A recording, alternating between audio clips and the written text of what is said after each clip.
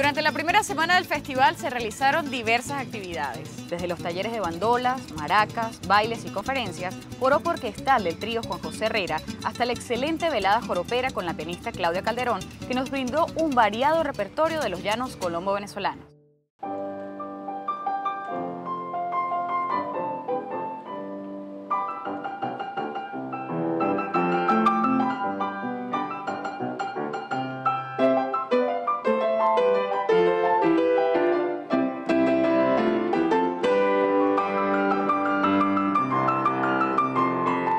Pues precisamente en mis estudios de, piano y de composición siempre quise adentrarme un poquito, digamos, en las raíces de donde provienen también las músicas de nosotros, latinoamericanos, eh, la síntesis que nosotros ya somos, de todas maneras, de, historias y de razas y de culturas. Me pareció interesante saber un poco de la historia del joropo, sus inicios y cómo a, través de la historia ha ido influenciando nuestra, nuestra historia y nuestra cultura.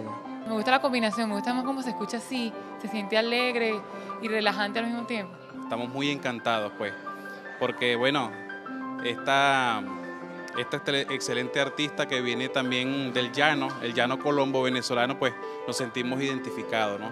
Encantada porque estos espacios se den y que se rescate la cultura venezolana. La invitación es a que asistan. La mañana del sábado 9 de abril, en los espacios de Plaza Venezuela, fue develada la obra escultórica Pariata 1957, original del maestro venezolano Omar Carreño, Premio Nacional de Pintura 1972. De la mano del maestro Carreño desde mediados del año 2009 y acompañado de también artista, el escultor William Barbosa, esta obra, hoy de 12 metros de altura, originaria de 10, conformada por cinco elementos rotatorios eólicos y sobre un pedestal antisísmico, se convierte no solo en un hito por la acción de los elementos naturales, sino también por su temporalidad inédita, que conecta con su pasado y su hoy. Por eso su protección, porque eso es el patrimonio, el encuentro con nuestra identidad en el anonimato de la cotidianidad urbana. Los sueños, de forma vertiginosa, se transforman en realidad y la realidad se convierte en un sueño cotidiano.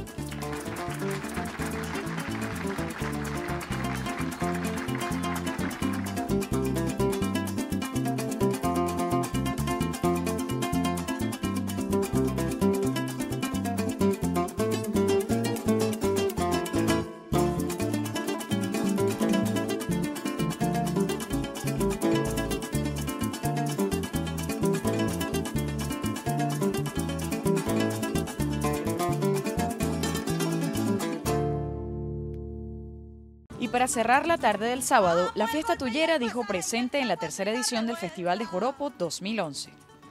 Nuestro joropo es tocado con guitarra central que la ejecuta el maestro Gabriel Rodríguez, al cuatro Esteban y por supuesto yo que soy la voz del grupo eh, ejecuto las maracas. Este, también aquí a mi lado, a la izquierda, tenemos a, Esteban Ramos, el Perico de Miranda, uno de nuestros, mejores representantes del joropo tuyero, con una voz extraordinaria. tan bonito que te queda la mirada bonita cuando me miran Entre un ameno y colorido concurso de baile, conciertos y un recorrido de ritmos didácticos para los pequeñines y público en general, transcurrió el día domingo 10 de abril. Todo en el marco de esta edición del Festival de Joropo 2011. Me siento muy contento, vale, muy bien bueno los, este viaje que me hicieron ustedes. Eh, como dice el dicho, uno tiene que salir para conocer. Yo primera vez que vengo.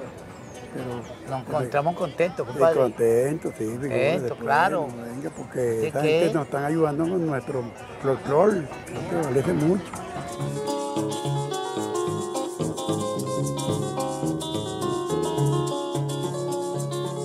Una niña de 15 años, una niña de 15 años una niña de 15 años, una niña de 15 años no puede tener talento. No le puede dar un hombre, no le puede dar a un hombre palabra de casamiento. Apoyando la, la, música venezolana. Me parece muy bien que la estancia esté apoyando a los músicos, que es muy importante, primero lo nuestro. Aquí con mi compañero estamos dispuestos a ganar, para hacia adelante todo el tiempo. Y si no ganamos no importa, porque lo importante es competir. Alpa, oígame cuando ya haya bien tocado. Ay, ay, ay, ay, que se bailó un alpa cuando ya haya bien tocado.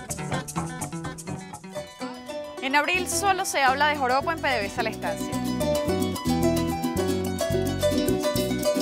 Por ello, la segunda semana del festival se inició con el taller de cuatro oriental dictado por el profesor Alfonso Moreno. El miércoles 13 tuvo lugar la conferencia de Simón de Sena con el joropo en Sucre. Los festivales pueden ser importantes en la medida eh, que se queden en el tiempo. Y como se está haciendo acá, pues muy bien hecho, no solo este, sea la interpretación, sino también las bases teóricas para llevarlas, bien sea a la escuela de los niños, bien sea, ¿por qué no?, este, a los estudios de la universidad.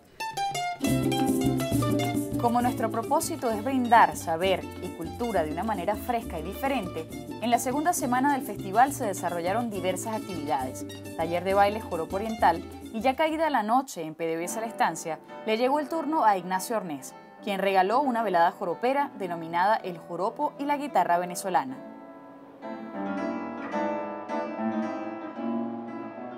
Tenemos muchas tradiciones que habría que divulgarlas.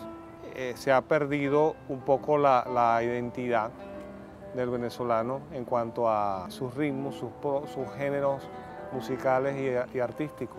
Lo importante es que se mantenga a través del tiempo. El joropo da para mucho,